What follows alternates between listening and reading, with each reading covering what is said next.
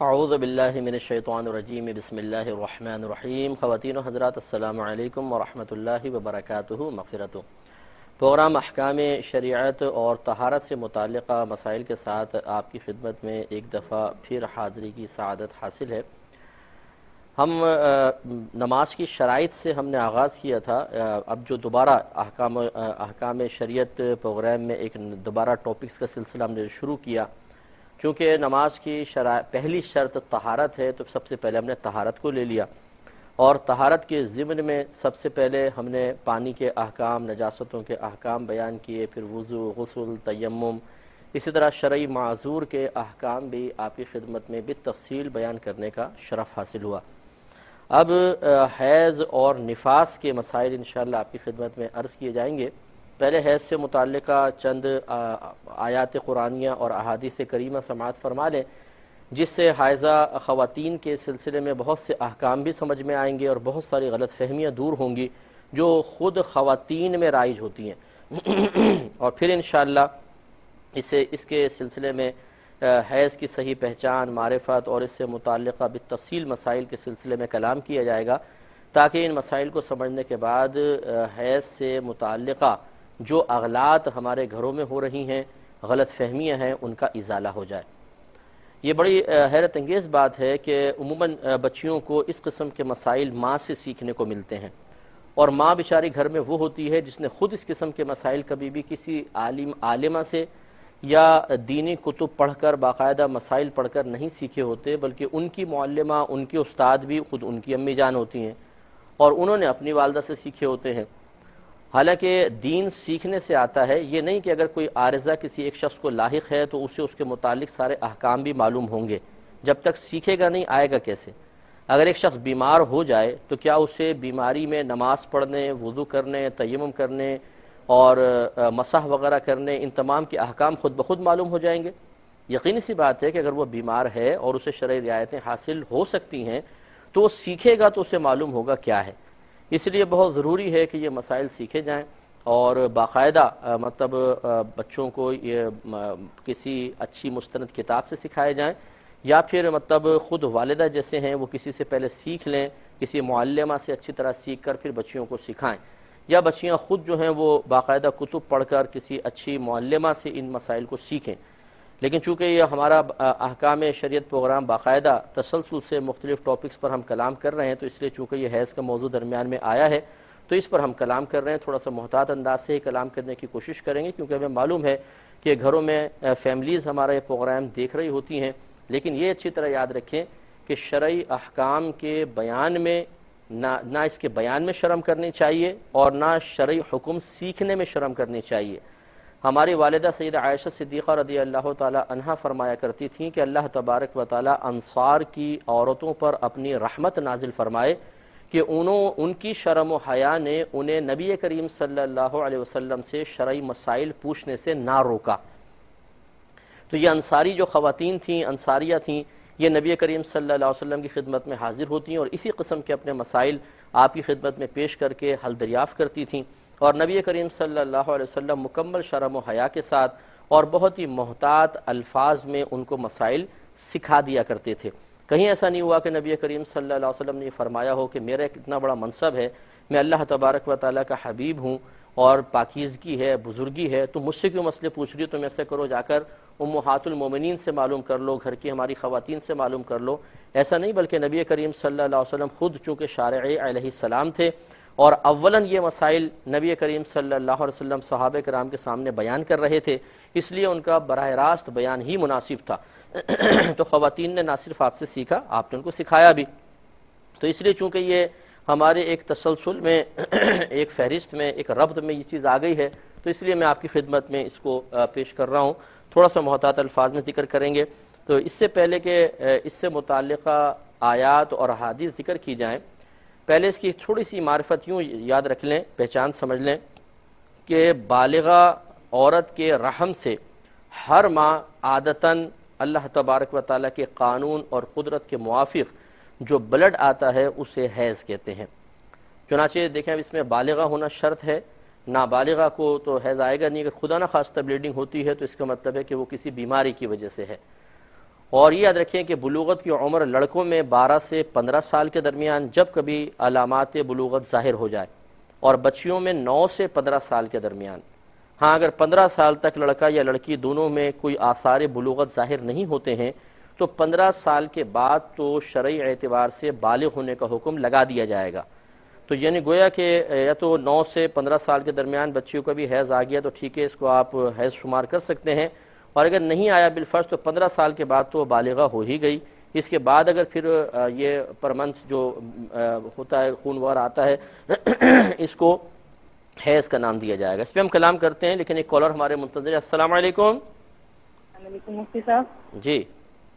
مطلب میرا پہلا سوال یہ ہے کہ کسی شخص کو یہ بتایا جاتا ہے کہ کسی نے جھوٹی نبوت کا دعویٰ کیا اور یہ ویڈیو نیٹ پر بھی ہے تو وہ کہتا ہے کہ نیٹ پر تو کچھ بھی بنا کر ڈالا جا سکتا ہے کیونکہ اس نے میرے سامنے یہ دعویٰ نہیں کیا لہٰذا میں اس پر یقین نہیں کروں گا۔ اس کا ایسا کہنا کیسا ہے؟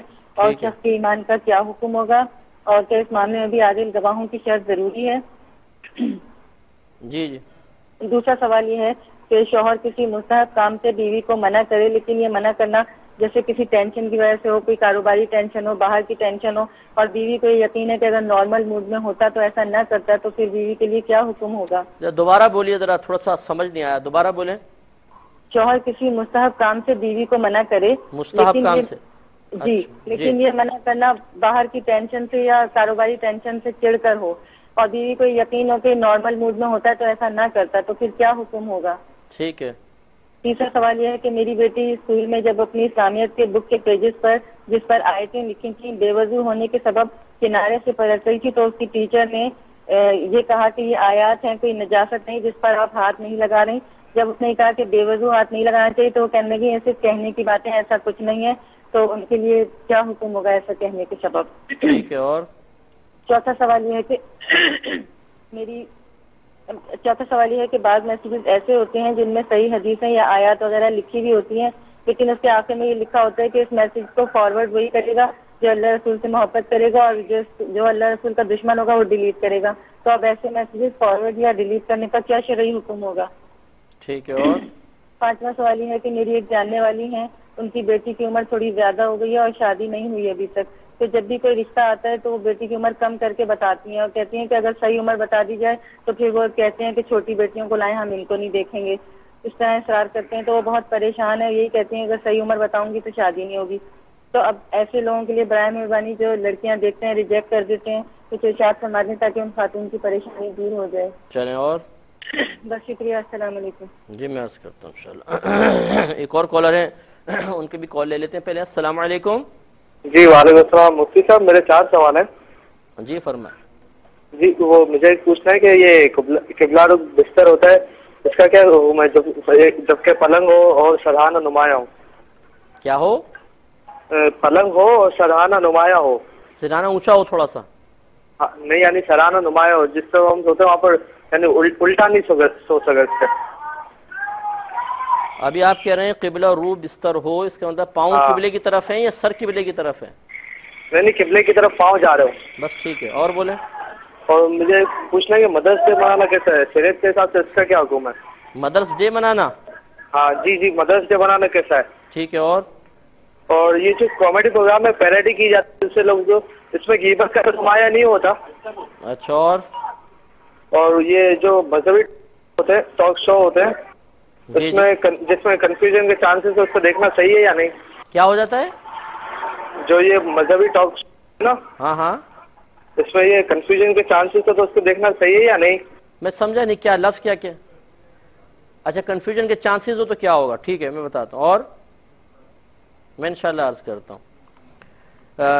پہلے ایک آیت لے لیتے ہیں کہ اللہ تبارک و تعالیٰ نے قرآن عظیم میں ارشاد فرمایا کہ یس الونا کا عن المحید اے حبیب کریم صلی اللہ علیہ وسلم، یہ آپ سے حیض کے بارے میں سوال کرتے ہیں۔ قل ہوا اذن، آپ فرما دیجیے کہ یہ ایک گندگی ہے۔ فاعتزل النساء فی المحید تو تم عورتوں سے حالت حیض میں دور رہو۔ ولا تقربوهن حتى يطهرن اور تم ان سے تعلق قائم نہ کرو، یہاں تک کہ وہ پاک ہو جائیں۔ فائدہ تو پھر جب وہ پاک ہو جائیں فَآتُوهُنَّ مِنْ حَيْثُ أَمَرَكُمُ اللَّهِ، تو تم ان عورتوں کے پاس آ سکتے ہو جس جگہ سے اللہ تبارک و تعالی نے تمہیں آنے کی اجازت مرحمت فرمائی۔ ان اللہ یحب التوابین، بے شک اللہ تبارک و تعالی بہت توبہ کرنے والوں کو پسند فرماتا ہے۔ وہ یحب المتطہرین، اور پاک رہنے والوں کو محبوب رکھتا ہے۔ تو دیکھیں اس میں، اس آیت کریمہ میں اس کا شان نزول اصل میں یہ ہے یہ صحیح مسلم میں انس بن مالک رضی اللہ تعالی عنہ سے مروی ہے کہ جب یہود کے ہاں کوئی کسی عورت کو حیض وغیرہ آتا تھا تو وہ اس کو ایک دم نجس اور پلید اور گندی تصور کرتے تھے اور وہ اس کو سختی سے منع کر دیا کرتے تھے کہ گھر کی کسی بھی چیز کو ہاتھ نہ لگائے۔ اور بعض اوقات تو اسے ایک الگ کمرے میں بند کر دیا جاتا تھا، یہاں تک کہ پھر اس کا ایام حیض گزرتے تو پھر وہ اس کو نارمل لائف کی طرف آنے دیتے تھے۔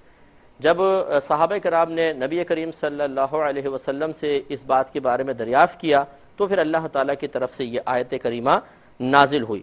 تو نبی کریم صلی اللہ علیہ وسلم نے گویا کہ پھر یہ بتایا کہ صرف تعلق قائم کرنا تمہارا اس حالت میں عورتوں سے منع ہے، باقی اللہ تبارک و تعالیٰ نے چونکہ کسی بھی کام سے ممانعت نہیں فرمائی، لہٰذا ان عورتوں کا گھر میں رہنا، روٹی بنانا، کھانا بنانا اور مختلف چیزوں کو ہاتھ لگانا اس سے کوئی گندگی یا نجاست کا تعلق نہیں ہے۔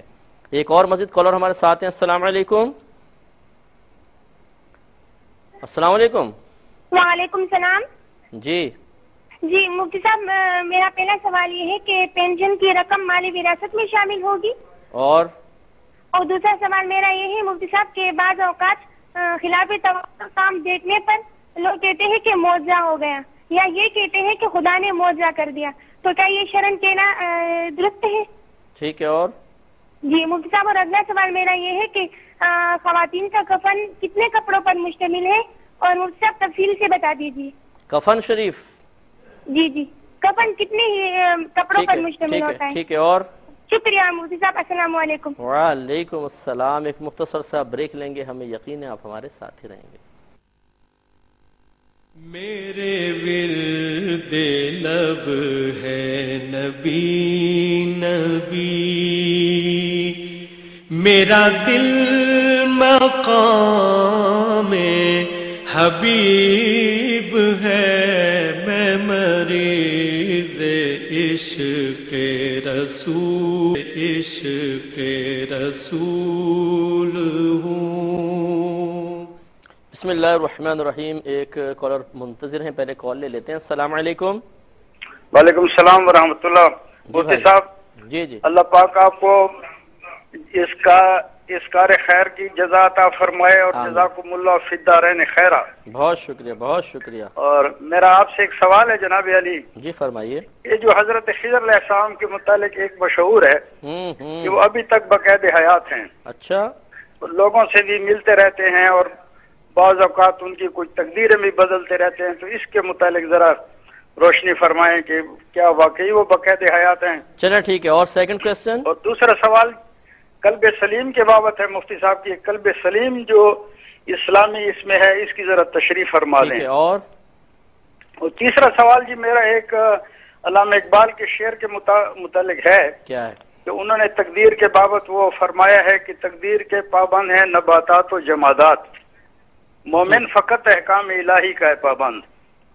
تو اس کے متعلق یہ جو تقدیر کا انسان پابند ہے اور جو تقدیر کے اللہ پاک نے جو اس کی اس میں لکھا ہے ٹھیک ہے میں اس شعر کا کیا مطلب اور اس کا احکام الہی کا کیا رابطہ بنتا ہے اس تقدیر کے مسئلے کے ساتھ؟ جی جی جی بتاتا ہوں بالکل بتاتا ہوں آپ کو انشاءاللہ۔ اور کوئی کوشچن آپ کا؟ ایک اور کالر ہے۔ السلام علیکم۔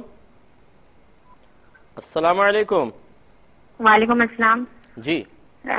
کیا ایک غیر مسلم کو اسلامی اسلام میں لانے کے لیے دعا کر سکتے خدا تعالیٰ سے؟ کسی غیر مسلم کی اسلام میں لانے کے لیے دعا کرنا۔ جی کر سکتے ہیں خدا سے۔ ٹھیک ہے اور؟ اور ہم پانچوں وقت کی نماز پڑھتے ہیں اور دعا کرتے ہیں وہ ایمان لیا ہے ہاں ہاں ٹھیک ہے اور؟ ٹھیک ہے میں بتاتا ہوں انشاءاللہ آپ کی خدمت میں عرض کرتا ہوں۔ بس مختصر سے اس پہ پہلے کلام کر لیتے ہیں۔ تو اللہ تعالیٰ نے یہود نے چونکہ عورتوں کو حالت حیض میں بالکل چھوت جیسے ہے ایسا سمجھنا شروع کیا تو مذہب اسلام نے اس کا رد کیا۔ کہ یہ ایک عام نارمل ناپاکی کی کیفیت ہے جو اللہ تبارک و تعالیٰ کے حکم سے عورتوں پر انہی کے فائدے کے لیے، چونکہ یہ صحت کی علامت بھی ہے، یہ مقرر کی گئی ہے۔ تو ایسی حالت میں عورتوں سے نفرت کرنا شرائن بالکل غیر مناسب ہے۔ لہذا اللہ تعالیٰ نے قرآن عظیم میں سراحت کر دی۔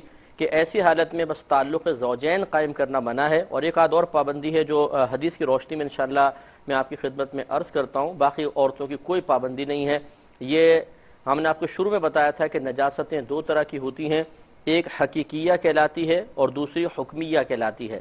نجاست حقیقیہ تو وہ ہے جس کو آپ چھو سکیں جو نظر آتی ہے، جس کو کوئی اسمیل وغیرہ ہو، جیسے پیشاب ہے۔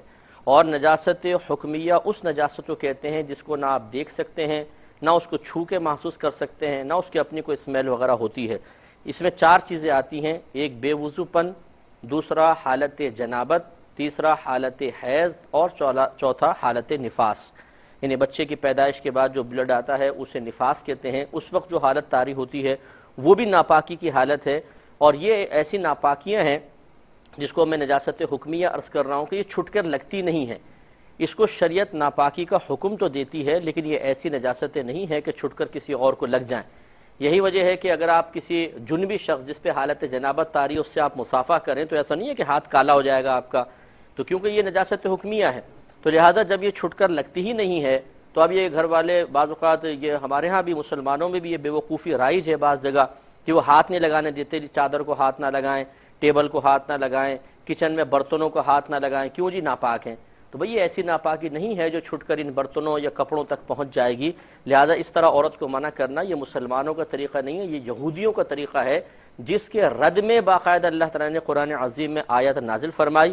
لیکن ہماری جہالت یہ ہے کہ بعض اوقات ہم اپنے دین پر عمل کرنے کے لیے تیار نہیں ہیں۔ غیر قوموں کے وہ طریقے جو جن کی خود قرآن میں مذمت ہے، ان چیزوں کو اختیار کیے ہوئے ہیں۔ تو اس لیے علم کی برکت سے ہمیں چاہیے کہ ان باتوں پر غور و تفکر کر کے اس قسم کے غلط معاملات کو اپنے گھروں سے باہر نکالیں۔ جوابات کی طرف آتے ہیں، یہ ایک پچھلی دفعہ بہن نے فرمایا تھا، ایک قول کی تھی کہ، اور تم اس کا جواب شامل کر لیتا ہوں، کہ ایک شخص نے کسی سے قرضہ لیا، وہ قرضہ مانگنے کے لیے آئے، اور سختی کے ساتھ مطالبہ کیا، اس نے عذر بیان کیا، تو ان میں سے ایک شخص نے یہ غلط بات بولی کہ تم اپنی ماد اللہ زوجہ کو ہمارے حوالے کر دو۔ اس طرح یعنی بری بات کہی تو یہ خاموش ہو گیا اور کچھ عرصے بعد ان کو اپنے گھر پہ دعوت دے کے بلایا اور یہ کہتی ہیں کہ پھر وہ جب ڈرائنگ روم میں بیٹھے ہوئے تھے تو اس نے دو رکعت نفل ادا کی اور اللہ تعالیٰ کی بارگاہ میں عرض کیا رب کریم، اگر میں جو کچھ کرنے والا ہوں اس میں صحیح ہوں تو میری مدد فرما۔ اور اس کے بعد اس نے ان دونوں کو شوٹ کر دیا اور وہاں سے بھاگ گیا۔ تو اس شخص کا ایسا کرنا شرعن کیسا ہے؟ اور اللہ تعالیٰ سے جو اس نے طلب امداد کی تھی تو کیا اس کا شوٹ کرنے میں کامیاب ہو جانا اللہ تبارک و تعالیٰ کی مدد سے تھا؟ دیکھیں مسئلہ یہ ہے کہ قرضہ لینا یہ ہمارے نبی کریم صلی اللہ علیہ وسلم کو شدید ناپسند تھا۔ آپ اتنا اس کو ناپسند فرماتے تھے کہ بسا اوقات اگر کوئی مقروض کا جنازہ آتا، سرکار فرماتے اس پہ کچھ قرضہ ہے، لوگ اس کرتے، یا رسول اللہ صلی اللہ علیہ وسلم جی ہاں ہے۔ تو آپ فرماتے کہ تم اس کا جنازہ پڑھ دو میں نہیں پڑھتا ہوں۔ لیکن یہ نہیں تھا کہ آپ مد اللہ اس کو کوئی کافر سمجھ رہے تھے، لیکن یہ اصل میں لوگوں کی نگاہوں میں قرض مانگنے کی قباحت کی طرف اشارہ کرنا ہی مقصود تھا۔ مجبوری میں قرضہ لیا جا سکتا ہے، خود نبی کریم صلی اللہ علیہ وسلم نے بھی لیا ہے۔ آپ کو اگرچہ ظاہری طور پہ کوئی مجبوری نہیں تھی جواز امت کے لیے، لیکن صحابہ کرام نے باہم قرضہ لیا ہے اور یہ صحیح ہے، بامر مجبوری، لیکن حتی الامکان نہ لیا جائے تو بہتر ہے۔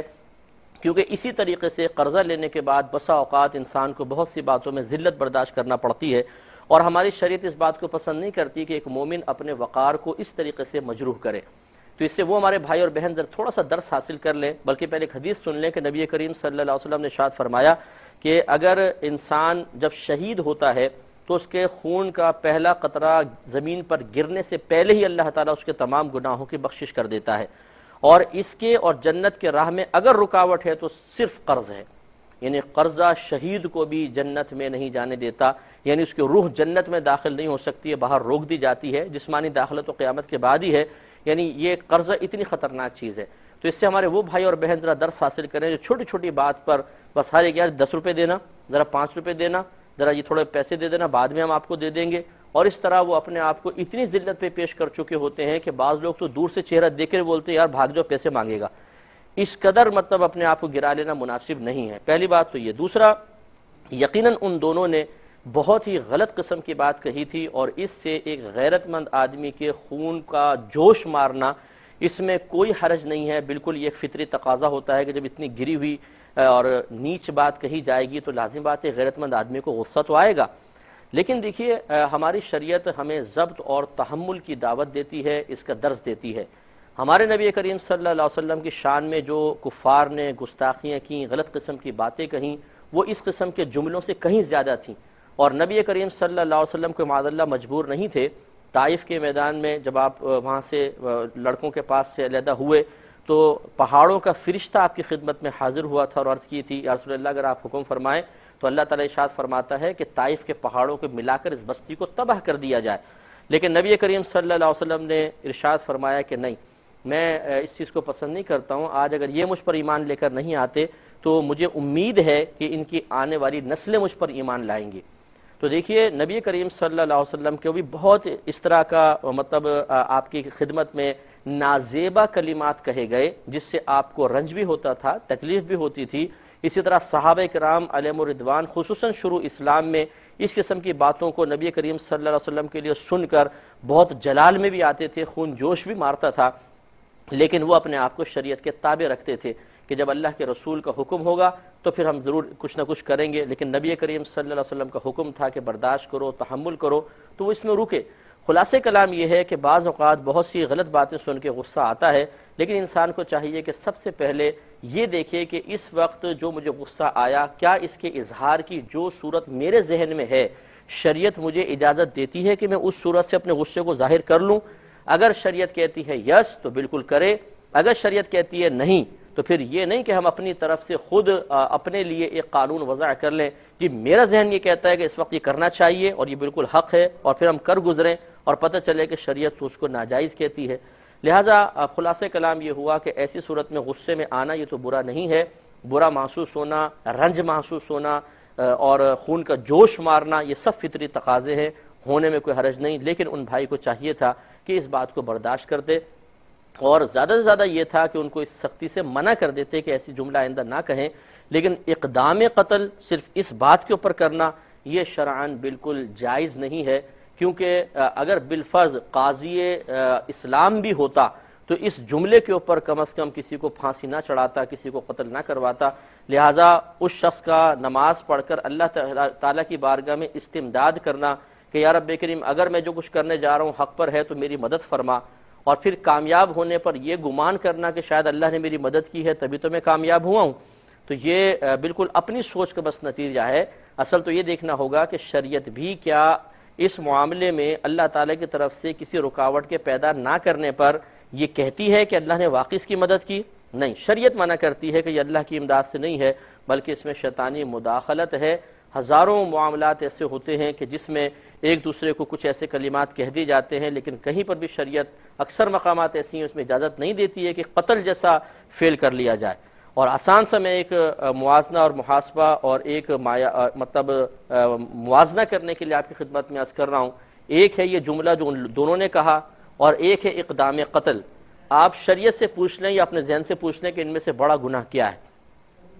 تو وہ جملہ کہنا یقیناً غلط تھا اور گناہ تھا، لیکن قتل کرنا وہ اس سے بڑا گناہ ہے کیونکہ یہ بہت بڑا گناہ ہے۔ قرآن پاک کی آیت کا مفہوم ہے کہ جس نے ایک انسان کو قتل کیا اس نے گویا کہ پوری انسانیت کو قتل کر دیا، تمام انسانوں کو قتل کر دیا۔ اس لیے ان بھائی کو چاہیے کہ اللہ تعالیٰ کی بارگاہ میں بہت توبہ کریں، ورنہ یہ نہ سوچیں کہ ان کے جملے کے بعد حق قتل کرنا میں حق پر تھا۔ کیونکہ بعض اوقات ایسا ہوتا ہے کہ ایک چیز حرام ہوتی ہے اور ہم اپنی دانست میں اپنی کم علمی کی بنا پر اسے اپنے لیے حلال تصور کرتے ہیں۔ اور یاد رکھیں کہ حرام قطعی کو حلال سمجھنا کفر ہوتا ہے۔ اللہ نہ کرے اگر وہ یہ سمجھے کہ میرے لیے قتل کرنا یہاں جائز تھا اور حلال تھا تو یہ بھی ہو سکتا ہے کہ حکم کفر بھی ان کی طرف متوجہ ہو جائے۔ اس لیے اگر وہ بھائی بالفرض اگر وہ سن رہے ہیں تو اللہ تعالیٰ کی بارگاہ میں توبہ کریں اور آئندہ اس قسم کے معاملات میں جوش جذبے کے بجائے پہلے کسی دینی شخصیت سے اچھے عالم اور مفتی سے آپ وہ مشورہ کر لیتے تو بہت ہی بہتر تھا۔ میرے سامنے زندگی میں کیونکہ میں الحمدللہ بہت سے کیسز حل کرتے رہتا ہوں، لوگ مجھ سے مشورے کرتے ہیں۔ کئی لوگوں کو میں نے اس طرح اقدام قتل سے روکا ہے۔ یعنی مجھ سے پوچھا گیا کہ آپ اجازت دیتے ہیں کہ ہم قتل کر دیں فلاں کو اس بات کے اوپر۔ میں پورا کیس سننے کے بعد پھر کہتا ہوں کہ نہیں، شریعت آپ کی اجازت نہیں دیتی ہے۔ تو الحمدللہ وہ گناہ سے بچے ہیں۔ اور بعد میں انہوں نے پھر اظہار بھی کیا ہے کہ بہت اچھا ہوا کہ آپ سے مشورہ کر لیا۔ ایک وقتی جوش تھا۔ جب وہ جوش ختم ہوا تو ہم واقعی سوچ رہے تھے اگر ہم کر لیتے تو کیا ہوتا۔ تو اس لیے گزارش یہ ہے، جو ہمارے دیگر بھائی سن رہے ہیں، تو وہ اس قسم کا کوئی معاملہ نہ کریں۔ اگر آپ کو کسی بات پہ غصہ آتا ہے، کسی کی حرکت نازیبہ بھی ہے پہلے مشورہ کر لیں، پھر اس کے بعد کچھ اقدام کریں۔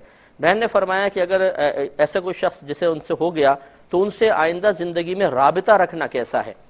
دیکھیے، جب تک وہ اعلانیہ توبہ نہ کرے، بہتر یہ ہے یعنی جب تک وہ ان لوگ، رشتہ داروں کے سامنے توبہ نہ کرے، ان کا سوشل بیک آؤٹ ہونا چاہیے۔ وہ بھائی برا نہ مانے، لیکن جب تک ایک گناہ کرنے والا جس نے اعلانیہ گناہ کیا ہو، آپ اسے گناہ کا احساس نہیں دلائیں گے، تو وہ توبہ کی طرف کس طریقے سے مائل ہوگا؟ اور اس احساس دلانے کا شریعت نے طریقہ لکھا ہے کہ پہلے ان کو سمجھائیں، انہیں تائب ہونے کی طرف بلائیں۔ اگر وہ شخص نہیں مانتا، اپنے گناہ پہ ڈٹا رہتا ہے اور وہ اپنے آپ کو اس گناہ کے کرنے کے باوجود حق بجانب تصور کرتا ہے، تو پھر عام مسلمانوں کو حکم ہوتا ہے کہ اس سے میل جول کو ترک کر دیا جائے، جو ملے گا پھر وہ گناہ گار ہوگا۔ آج کے مسائل کی طرف آ جاتے ہیں، کہتی ہیں کہ ایک شخص کو بتایا گیا بھی نیٹ پر کسی شخص کی کوئی کلپ وغیرہ ہے جس نے دعوی نبوت کیا ہے۔ دوسرا شخص یہ کہتا ہے کہ بھئی میں اس کو نہیں مانتا ہوں، نیٹ کے اوپر تو ہر کوئی کسی بھی طریقے سے کلپ وغیرہ چڑھا دیتا ہے۔ جب تک میرے سامنے دعویٰ نہیں کرے گا، میں نہیں مانوں گا۔ تو کیا اس شخص کا ایسا کہنا صحیح ہے؟ اور کیا اس کو پھر گواہ پیش کیے جائیں تب وہ مانے یا کیا اس کا معاملہ ہوگا؟ دیکھیے، وہ بالکل صحیح کہہ رہا ہے۔ اس نیٹ کے اوپر تو ایک سے ایک خرافات ڈلی ہوئی ہے۔ ابھی مجھے کسی نے بتایا تھا کہ کسی نے کوئی بات کہی ہوگی۔ اور میں نے ایک سائل کو اس کے سوال کا جواب دیا تھا۔ اس شخص کی بات کے جواب میں میرے سائل کے جواب کو توڑ کے اس طرح ملا دیا گیا جیسے لگتا ہے میں اس کا رد کر رہا ہوں یا اس کا جواب دے رہا ہوں۔ اس طرح کے کلپ ڈال دیے جاتے ہیں اس پہ کلام کرتے ہیں لیکن ایک مختصر سے بریک کے بعد۔ میرے ورد لب ہے نبی نبی۔ میرا دل مقام حبیب ہے میں مریض عشق رسول میرے ورد لب ہے نبی نبی۔ میرا دل مقام حبیب ہے مریض عشق رسول ہوں۔ بسم اللہ الرحمن الرحیم۔ تو دیکھیں، جو شخص یہ کہہ رہا تھا، بالکل صحیح کہا کہ اس طرح نیٹ پہ کوئی بھی کلپ دیکھ کر وہ کوئی بھی کسی کے بارے میں فوراً ایک رائے قائم کر لینا، یہ بعض اوقات غلطی کی طرف بھی لے جا سکتا ہے۔ جیسے میں خود آپ کو بتا رہا تھا کہ کسی نے کوئی بات بولی کسی مقام پر پھر ہمارے احکام شید پروگرام میں سائل نے بالکل علیحدہ کویشچن کیا، اس کا جواب دیا گیا، لیکن یہ جواب اور اس شخص نے جو کچھ بیان کیا تھا، وہ بظاہر تھوڑا سا بارب سا محسوس ہو رہا تھا، تو کسی نے وہ سائل کا سوال نکال کے اور شروع کی جو میرے الفاظ تھے وہ بھی نکال دیے اور باقی جواب کو اس طرح کلپ بنا کے ڈال دیا کہ فلاں کو مفتی صاحب کی طرف سے جواب۔ حالانکہ میں نے کسی کو جواب نہیں دیا، میں نے، میں اکثر شخصیات پر، کسی تنظیم پر کمنٹس دینے سے بہت ہی گریز کرتا ہوں۔ اور میں تبصر آرائی کسی پر نہیں کرتا ہوں، حتی الامکان کوشش ہوتی ہے۔ ہاں اگر ہم کسی جگہ کوئی حکم بیان کرتے ہیں تو وہ صرف اور صرف قرآن و حدیث کا شرعی حکم بیان کرنا مقصود ہوتا ہے۔ اس وقت ہمیں نہیں معلوم ہوتا کہ سائل کس وجہ سے سوال کر رہا ہے۔ ہم تو اس کے سوال کو دے سنتے ہیں، سمجھتے ہیں اور جواب دے دیتے ہیں۔ تو خلاصہ کلام یہ ہے کہ واقعی نیٹ پہ اس طرح کی خیانتیں بہت زیادہ ہیں کہ کسی کی بات کو توڑ موڑ کے بعد اوقات پیش کر دیا جاتا ہے اور اس پر پھر حکم کفر کی بنیاد رکھنا اور زیادہ خطرناک ہے۔ لیکن یہ ضرور ہے کہ اگر کسی شخص کے بارے میں علماء حق اس بات کی گواہی دے رہے ہوں کہ نہیں، فلاں فلاں فلاں ایسا ہے، تو پھر ان علماء حق کی بات کو نظر انداز کر کے یہ کہنا کہ نہیں جی میں تو آپ کی بات نہیں مانتا ہوں میرے سامنے جب ہوگا تو میں کروں گا، یہ ضرور غلط ہے۔ لیکن ایک عام آدمی اگر کہتا ہے کہ میں نے نیٹ کے اوپر ایک دیکھا ہے، فلاں ایسا ہے اور آپ بھی مان لیں اور وہ اس کے انکار کرے کہ نہیں، میں ایسا نہیں مانتا ہوں، نیٹ پہ تو ہزار قسم کی خرافات ہوتی ہیں۔ تو اس کا کہنا بالکل حق بجانب ہے، اس میں گرفت کا کوئی پہلو نہیں ہے۔ بہن فرماتی ہے کہ اگر کوئی مستحب کام ہے، شوہر اس سے منع کرے۔ اور عورت جو زوجہ ہیں، وہ غالب گمان ان کو یہ ہو کہ یہ اصل میں اس مستحب کام سے حقیقتاً منع کرنا مقصود نہیں۔ کچھ خارجی عوارضات ہیں، مثلا چچڑا پن کسی کاروباری نقصان کی وجہ سے ہے، باہر کی کوئی پرابلم کی وجہ سے اس لیے منع کر رہے ہیں۔ حقیقتاً کام سے منع کرنا مقصود نہیں، تو کیا حکم شرع ہوگا؟ دیکھیں، چونکہ چاہے اس کی وجہ کوئی بھی ہو، شوہر پہ چچڑا پن غالب ہے، باہر کاروبار کا مسئلہ ہے، لیکن جب پرٹیکولر شوہر نے ایک کام کو منع کیا، اگر آپ کو یقین ہے کہ وقتی طور پر ایک غصہ اس کام کو روک رہا ہے، تو وقتی طور پہ تو رک جانا واجب ہے۔ اس کے بعد جب دیکھیں کہ شوہر نارمل حالت میں آ گئے ہیں، تو پھر ان کے سامنے سراہتاً ذکر کیا جائے کہ آپ نے اس کام سے منع کیا تھا۔ واقعی آپ منع کرنا چاہتے ہیں یا وقتی کیفیت کا وہ نتیجہ تھا؟ اگر شوہر کہے کہ وقتی کیفیت کا نتیجہ تھا، ٹھیک ہے، وہ میں ایسی کہہ دیا تھا، آپ کرتے رہیں تو ٹھیک ہے، لیکن اگر وہ کہیں کہ نہیں، وہ وقتی کیفیت کا نتیجہ نہیں تھا، بلکہ واقعی میں نہیں چاہتا ہوں کہ ایسا کام ہو، تو پھر اس سے رک جانا، اس مستحب کام کو چھوڑ دینا واجب ہوگا۔ غرض ہے کہ پہلے تصحیح کروا لی جائے، پہلے تو رکنا ہی واجب ہے، اس کے بعد پھر سراہتاً ان کی زبان سے کہلوا لی جائے، یس یا نو، اس کے تقاضے کے مطابق پھر عمل کیا جائے۔ یہ کہتی ہیں کہ ان کی بچی اسکول میں پڑھ رہی تھی تو اسلامیات کی کتاب میں کچھ آیت لکھی ہوگی، بچی نے سائڈ سے پکڑا۔ تو مس نے کہا کہ یہ آیات ہیں، کوئی نجاست تو نہیں ہے کہ تم اس پہ ہاتھ نہیں لگا رہی اس بچی نے کہا کہ جی بے وضو چھونا اس کو منع ہوتا ہے۔ تو انہوں نے کہا یہ تو صرف کہنے کی باتیں ہیں، اس سے کچھ بھی نہیں ہوتا۔ تو اللہ تعالی ہماری ان ٹیچرز پر اپنی رحمت نازل فرمائے۔ بہرحال یہ بھی ہماری مسلمان بہنیں ہیں، لیکن اسلامیات کی ٹیچر ہو جانے کا مطلب مفتیہ بن جانا نہیں ہوتا ہے۔ یہ بہت سی ہماری ٹیچرز ایسی ہوتی ہیں جن کو دین کی بنیادی باتیں بھی معلوم نہیں ہوتی، جیسے کہ یہ۔ یہ تو قرآن عظیم کا حکم ہے، لا يمسه الا المطہرون، کہ اس قرآن عظیم کو نہ چھوئیں مگر پاک لوگ۔ تو لہٰذا اللہ تبارک و تعالی نے آیات قرآنیہ کو چھونے کو منع فرمایا ہے، اور یہاں پاک سے مراد ہر طرح کی پاکی ہے۔ اسلام کی بھی پاکی ہونی چاہیے، اور اس کے علاوہ جو وضو اور جنابت وغیرہ سے بھی طہارت حاصل ہونی چاہیے۔ یعنی اس وقت چھونے والا نہ بے وضو ہو، نہ حالت جنابت میں، نہ حالت حیض میں، نہ حالت نفاس میں، تو قرآن کو چھونا جائز ہے۔ اب جس مس کو بیچاری کو یہ بنیادی چیزیں نہیں پتا قرآن کی آیت اور بولی یہ تو سب کہنے کی باتیں ہیں۔ تو گویا کہ انہوں نے تو قرآن کو کہہ دیا کہ سب کہنے کی باتیں ہیں۔ اب ہم یہ تو نہیں کہیں گے کہ وہ ماد اللہ کافر ہو گئیں اس لیے کہ قرآن کا رد کرنا مقصود نہیں تھا، لیکن اتنا ضرور ہے کہ اپنے کملمے کی بنا پر چونکہ انہیں، انہوں نے قرآن کے ظاہری مضمون کو ایک معمولی اور حقیر کر کے پیش کیا ہے، ان پر توبہ لازم ہے۔ لیکن بچی یہ نہیں کرے کہ جا کے مس کی گرفت کرے، بلکہ پیرنٹس کو چاہیے کہ جا کر پیار سے، نرمی سے ان کی خدمت میں عرض کریں کہ بھئی آپ ماشاءاللہ بچیوں کی آپ معلمہ ہیں، آپ کی باتیں سن کر تو بچیاں ہدایت حاصل کرتی ہیں اور آپ اگر ایسا کہیں گی تو یہ بچیوں کا ذہن بھی خراب ہوگا اور وہ گمراہی کی طرف آئیں گی، تو یہ اصل مسئلہ ہے۔ گزارش ہے کہ آپ اصلاح فرما لیں۔ ان کو چاہیے کہ اپنی اصلاح کریں۔ اصلاح کر دیں، لیکن بچی گرفت نہ کرے، اس سے پھر میز دلوں میں بغض بٹھا لیتی ہیں بعض اوقات۔ کیونکہ انانیت ہمارے ہاں ہوتی ہے، حق قبول کرنا سب سے زیادہ مشکل ہوتا ہے، پھر وہ انتقامی کارروائیاں شروع ہو جاتی ہیں، اس سے بچے پریشان ہوتے ہیں۔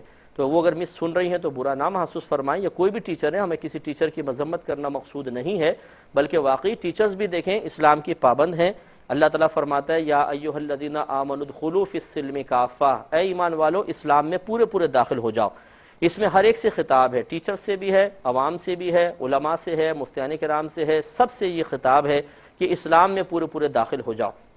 تو اس کا مطلب یہ نہیں ہے کہ اگر کوئی ٹیچر بن گیا تو وہ مستثنا ہو گیا، کچھ احکام سے، اور وہ جو چاہے کہے اور وہ جو چاہے کرے، اس کی گرفت نہیں ہوگی۔ اس پہ توجہ کرنے کی بہت ضرورت ہے۔ یہ کہتے ہیں کہ بعض اوقات اس طرح کا میسج آتا ہے کہ یہ آگے آپ فارورڈ کریں۔ اگر کریں گے تو اس کا مطلب یہ ہے کہ آپ کو اللہ تعالیٰ اس کے رسول سے محبت ہے۔ اگر نہیں کریں گے تو اس کا مطلب ہے کہ اگر ڈیلیٹ کر دیا تو آپ کو اللہ رسول سے دشمنی ہے۔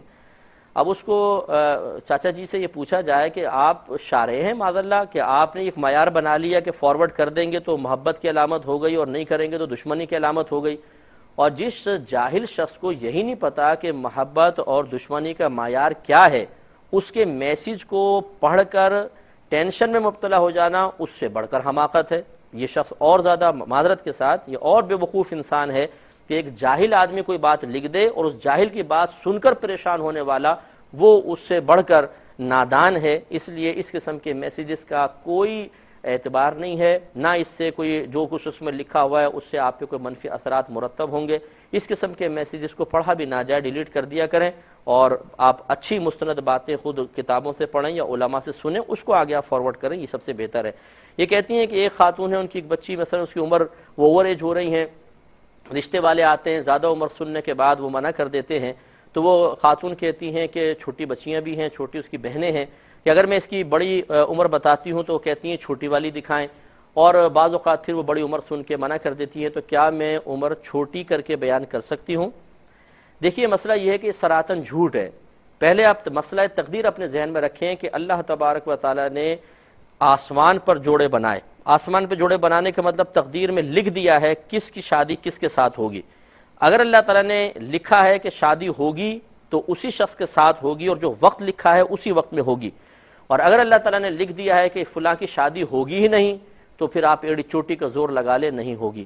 تو خلاصہ کلام یہ ہے کہ یہ ضروری نہیں ہے کہ آپ عمر کم بتائیں تو بچی کی شادی ہو جائے۔ اگر اللہ تبارک و تعالیٰ نے اس کی قسمت میں شادی نہ ہونا لکھا ہے تو عمر چاہے کم بتائیں، کروڑوں روپے بھی جہیز کے اندر دے دیں، شادی نہیں ہو سکتی ہے۔ اور اگر اللہ تعالیٰ نے قسمت میں لکھا ہے، تو آپ چاہے سچ بولتی رہیں، انشاءاللہ شادی ضرور ہوگی۔ تو بہتر یہی ہے کہ ہم معاملہ تقدیر پر چھوڑ کر اور جائز طریقے سے کوشش کے سلسلے کو جاری رکھیں۔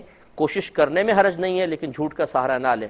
اس کا سائیڈ ایفیکٹ یہ ہوگا کہ دیکھیں، عمر چھپتی نہیں ہے۔ بعد میں کسی نہ کسی ڈاکومنٹس وغیرہ پہ نگاہ پڑ جاتی ہے۔